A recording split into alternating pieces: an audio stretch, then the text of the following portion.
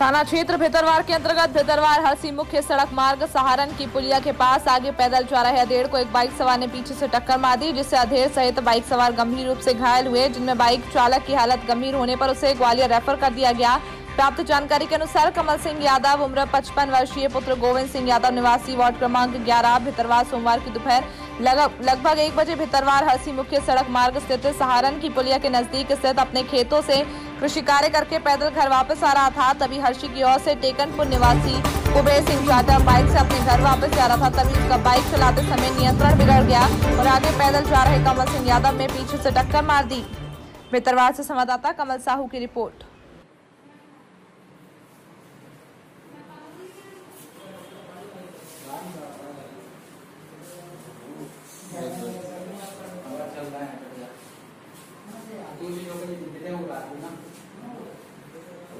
પહેલે તો જવું લોકો